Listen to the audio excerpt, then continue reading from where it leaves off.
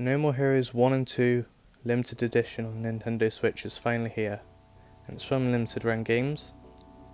Been waiting for this for quite a few months now, and I'm looking forward to opening this and making a video about this finally. First I'm going to go over the little cards and the flag before we actually get into the actual games themselves, so here we go. So straight away we've got the flag, I'm going to be honest here, the flag is a bit of a disappointment. Like the way it was advertised and shown, it looked a lot bigger and looked to be made in a better fabric. Because this is like see-through and quite rough. The roughness, it kind of feels like a tent or a sleeping bag. So try to imagine the flag feeling like that. But yeah, um, I was kind of hoping for like this big actual thing I could hang up on my wall and it'd be like all soft like an actual flag. But no, we've got like a hand, slightly bigger than hand sized tablecloth.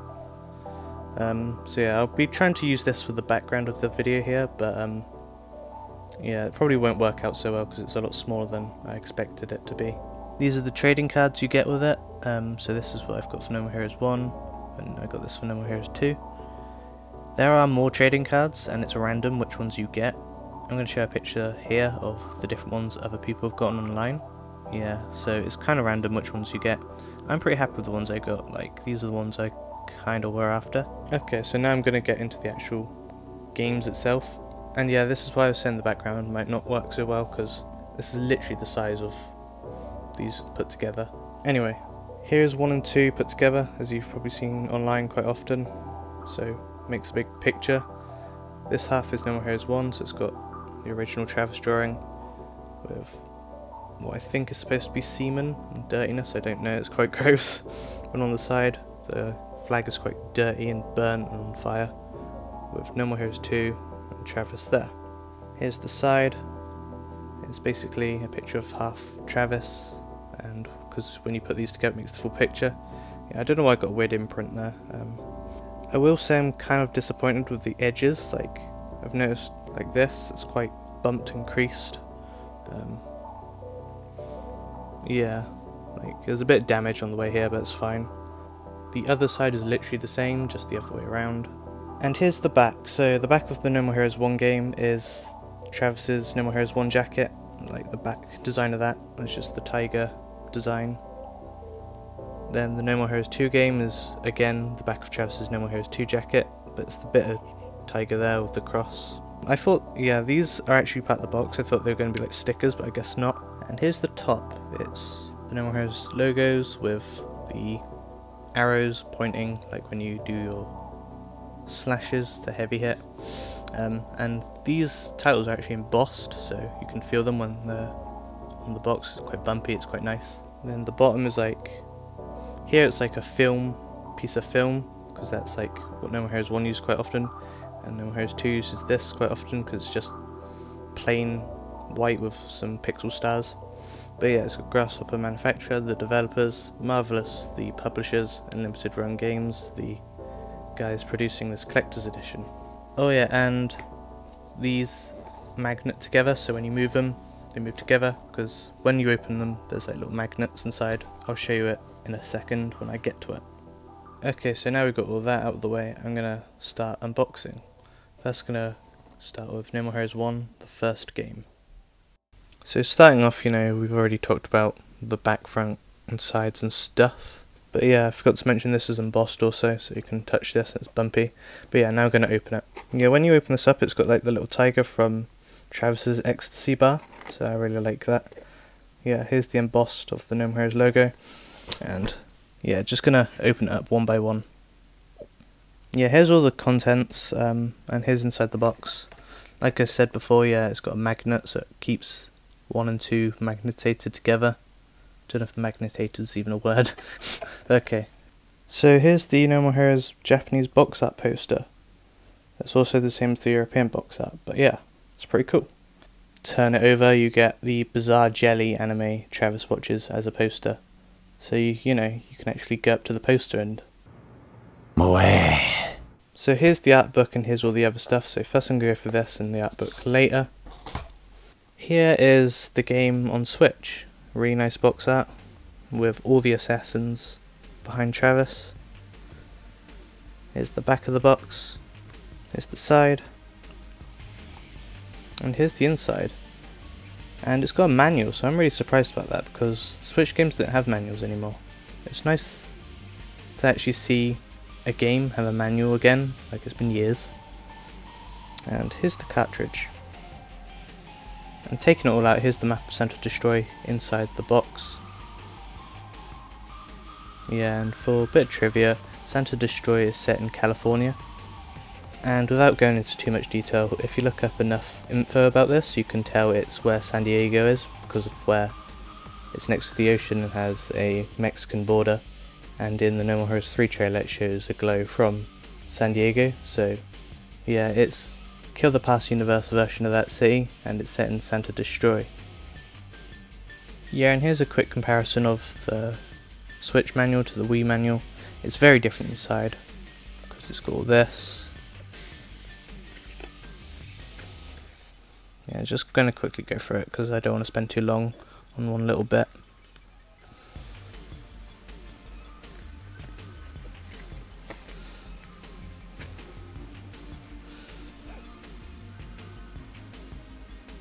Yeah, because obviously this manual is a lot different and actually has a little comic inside and yeah the Switch manual doesn't have the comic sadly. Oh but that's nice, it's got the whole Santa Destroy map again with Travis and Bizarre Jelly on the very back. And here's the steelbook, it's very nice. And here's the back, it's all like shiny, I really like it. And here's the inside, it's got a picture of Jeane there. Um, yeah, and you can put the game like in the steelbook and the manual there. But I don't know who really uses steelbooks anyway, because yeah, the actual box is usually better. So this is my first time dealing with a steelbook and actually owning one because I've actually never had one before because I've never really seen the point.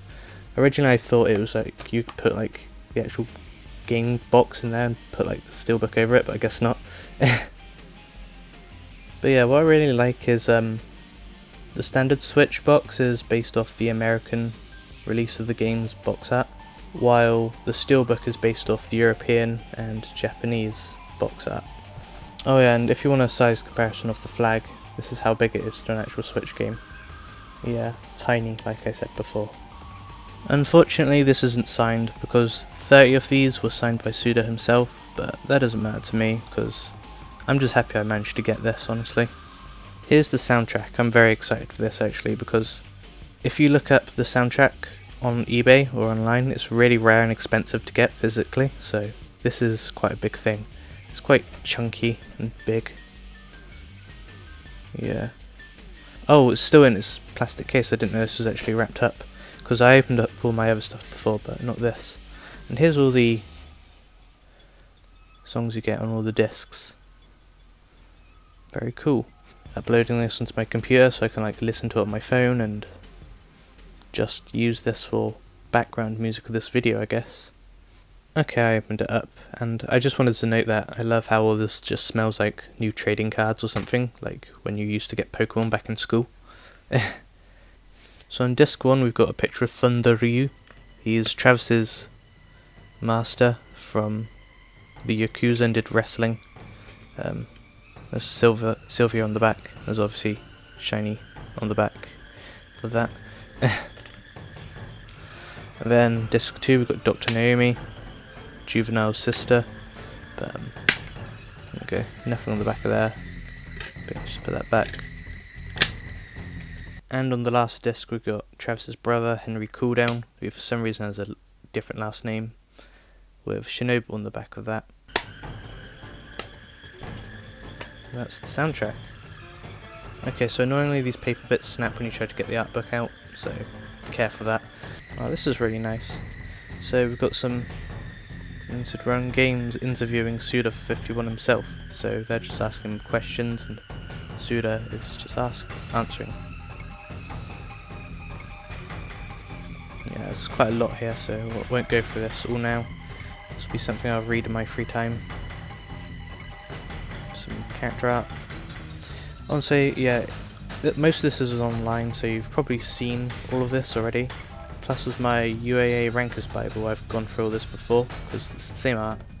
Um, I might remake that video, honestly, because it's bad. Some more interviews here. Just talking about how the game is made. Drawings. With Bizarre Jelly. Very cool. Oh, that's nice. As I already got No More Heroes digitally, I wanted to know what would happen if you put the cartridge in while you have the digital download already saved. And yeah, it just makes a second game. Yeah. and I'm not sure actually saves the save progress. I guess we'll have to find out. Yeah, so it doesn't save your save data, it makes you pick a new game. Okay. Okay, I found that quite funny. so the digital is here and the physical is here. It makes two separate play activities. How great. oh that's nice, you can even collect your gold points for the game. Okay. And that is all I have to say about this for now, and yeah, it's been pretty good. Now, to move on to No More Heroes 2 Desperate Struggle the not as good sequel, but still fun game. So here we've got the No More Heroes 2 Collector's Edition. Um, yeah, I've already gone over all the sides like before. Um, I'm going to mention again, this is embossed. But yeah, I'm going to get into it now.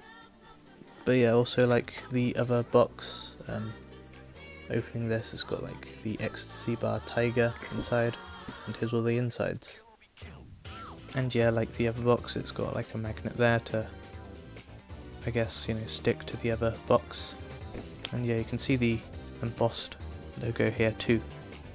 And here's the poster for this game. So it's the Japanese cover of the Hoppers edition, but as a poster.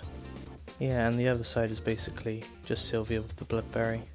Yeah, there's like an actual figure of this, but it's like really expensive. And now I'm going to get into all this. Obviously going to go this first, then the art book later. So here we go. Again, so I've already opened this before. Um, unfortunately this also isn't one of the 30 signed by Suda Games, but oh well. And here's the back. And here's the side. Here's the inside of the game. Um, this has also got a little manual and a game. And taking all this out, let's see what we get.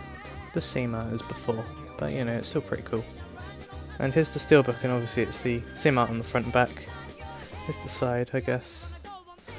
Yeah, and inside it's just a dirty Santa Destroy flag. Obviously, you know, you can put your like that, but you know, who's going to use a steelbook anyway? But yeah, what I do like is how the standard game is based on, you know, the standard game, and the steelbook is the same for the Hoppers edition. The only complaint is I think they do use this art a bit too much in No More Heroes 2, like this collector's edition specifically.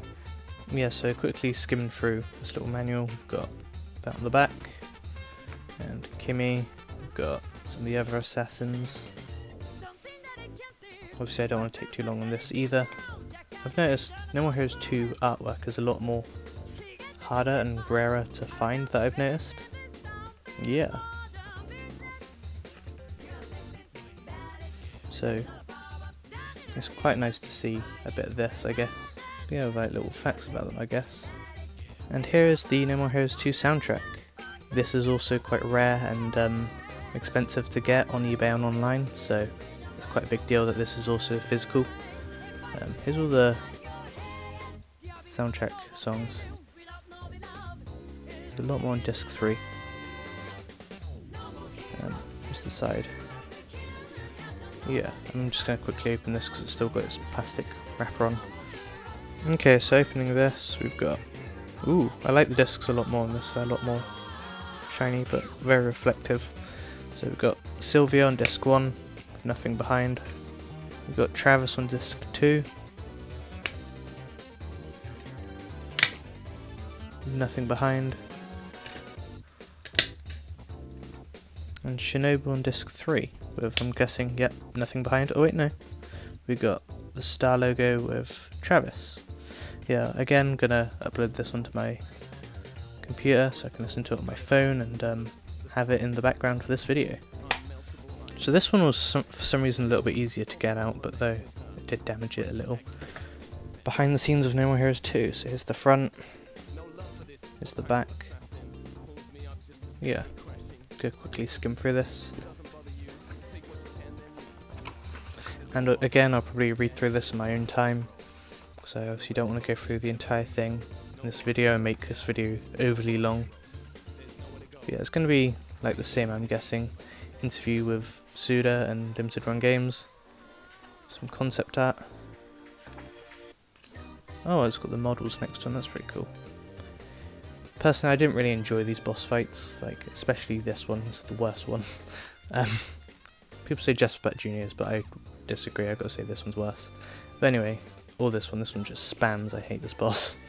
But yeah, I noticed with No More Heroes 2 I haven't really enjoyed any of the bosses, it's mainly just the fighting alone I guess. But even though then it's a little tedious, but well. Actually a quick correction on myself. I did enjoy the uh, Mimi boss fight where he plays Henry, I found that quite fun. Yeah, some cool pictures and stuff. That same picture. So that is that. Yep, you guessed it. We're going to get a second game with no returning save file. So, you know, this just looks great on my Switch, you know. Yay. and again, the annoyance of not being able to claim the gold points. Though I guess I'll try change my region or something to see if that works. And now that's it for No More Heroes 2. Oh, that's nice, got matched up on the flag. So yeah, that's been my unboxing and review for this collector's edition. I gotta say, it's pretty decent. It's got some flaws, but not many. Um, this is very enjoyable, it's worth the price. Obviously, the price it was originally, not when now scalpers have got it. I'm glad I didn't miss out on this. I really do enjoy this and have fun putting this on my Suda shelf and growing my Suda collection. And yeah, don't lick your Switch games, they taste gross. I tried them both myself just to be sure, they still got the taste. It's not fun. but yeah, that'll be it for this video now. Um, stay subscribed for more No More Heroes videos, because I got some more coming up. And yeah, let me know what else you want to see. Because I do kind of want to get the Hoppers edition on Wii. Uh, I've got the Threes Collector's Edition on its way. Would eventually like to get the Travis Strikes Again Collector's Edition if that wasn't so damn rare and expensive. Oh yeah, and don't forget, if you want to know how to 100% these games, I've got a video up on my channel about that, so go watch that video. Thank you for watching, and goodbye.